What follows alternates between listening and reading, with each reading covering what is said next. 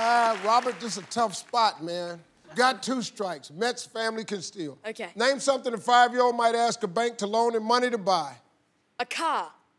A Car. A car. What'd you say? A car. A car. A car. Oh, car. A car.